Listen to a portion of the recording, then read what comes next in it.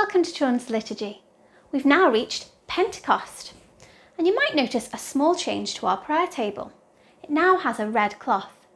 That's because red is the colour of the Holy Spirit.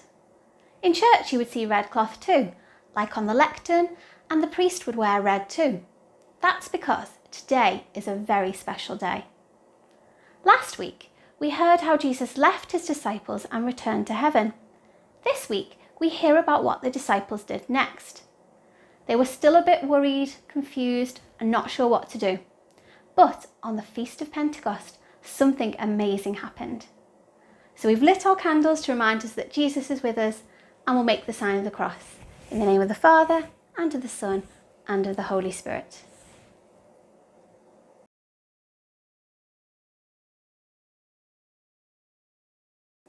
A reading from the Acts of the Apostles. The disciples gathered together in Jerusalem to celebrate the feast of Pentecost. As they were praying together, the room was suddenly filled with the sound of a powerful wind which roared through the house. Then, what looked like small tongues of fire appeared and spread out to touch each one of them. And so it was, they were filled with the Holy Spirit. At once, in their excitement, they rushed outside to tell everyone what had happened to them. As they began to speak, they were amazed to find that they could talk in other languages that they'd never spoken before. People from lands far and wide gathered in a crowd to listen to these men from Galilee. They were amazed and came to believe in Jesus. So it was from that day onwards, the disciples went around telling everybody about Jesus and sharing all that he had taught them. They were no longer afraid, for wherever they went, Jesus went with them. Now his spirit lived inside them, and they would never feel alone again. The word of the Lord. Thanks be to God.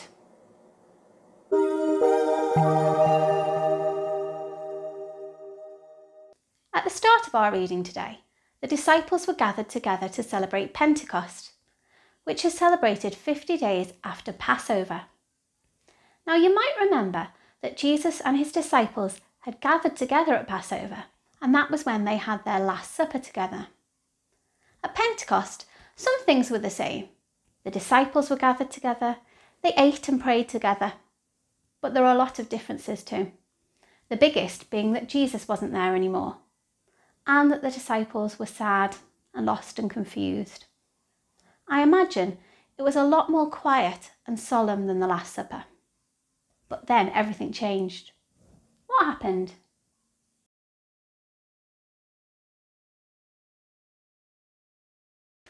Just like Jesus promised, the Holy Spirit came. There was a great wind and small flames appeared above their heads.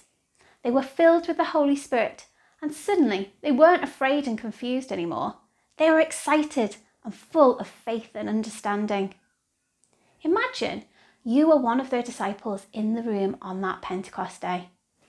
What do you think you would do and say?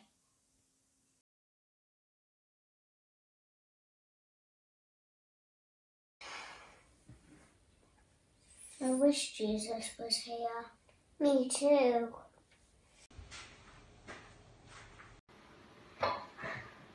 What's the matter, Peter? I just really miss Jesus.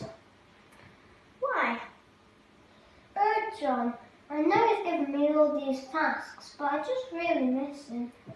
I'm sad too, but we need to get to work and start doing all the tasks now, don't we?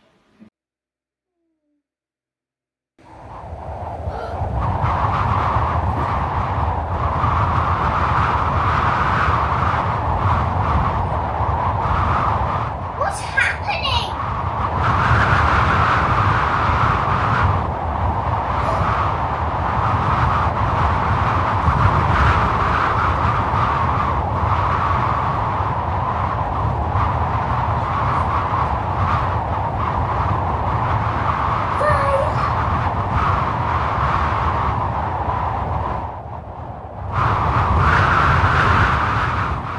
I'm going to tell everyone the good news about Jesus. Me too. And me. And me. Oh, It would be great if we could see the Holy Spirit with us like this, although it might be tricky to wear a hat. But the Holy Spirit is always with us, helping us and guiding us to make the right choices. The Holy Spirit gives us many wonderful gifts wisdom, understanding, peace, courage, patience, love, and kindness. We just need to remember to use them.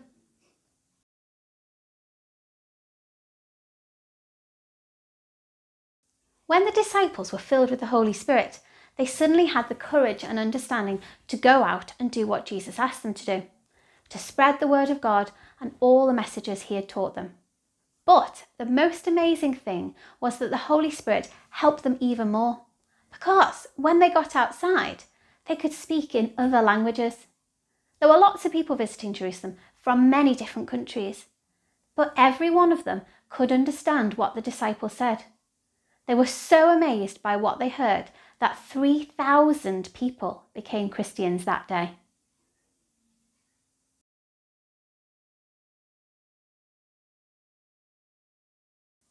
Sometimes people say that Pentecost is the church's birthday.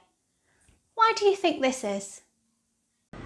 I think that people call Pentecost the church's birthday because it is the time when the disciples spread all the good news about Jesus and the church began.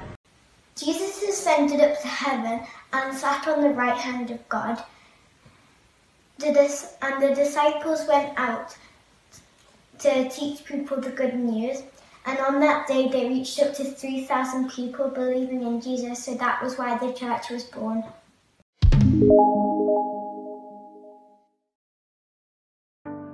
Our first activity this week is a fiery Holy Spirit headband. This activity would probably be most suitable for younger children. Begin by cutting up a piece of card into strips around 3 centimetres wide. This can be coloured or just plain white card. Then glue them together to make one long band, big enough to fit around their head. Next, draw around their hand on card or paper and cut it out. Doing this a few times on different colours looks really effective, but just one on white paper works too. Then use red, orange and yellow crayons to add fiery lines and patterns.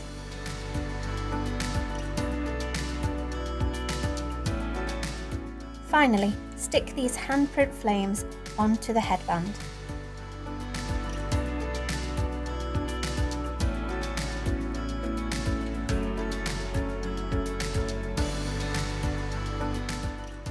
Our second activity, we will be making a lantern or prayer jar.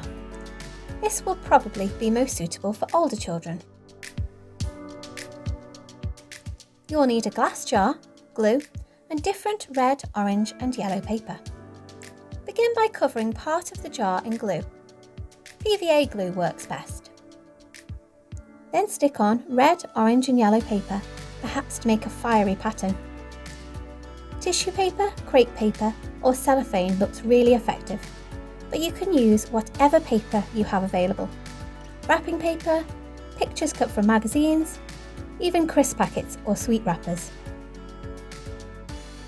Keep gluing and sticking on paper until the whole jar is finished.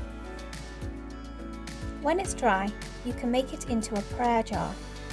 You can either write down any prayers, thoughts, worries, things that you're grateful for, anything you want to talk to God about and put it inside the jar. Or you can put encouraging words, phrases, and prayers inside and take them out when you need them. Alternatively, you can make a lantern. Remember, if you use a real candle, fire can be dangerous.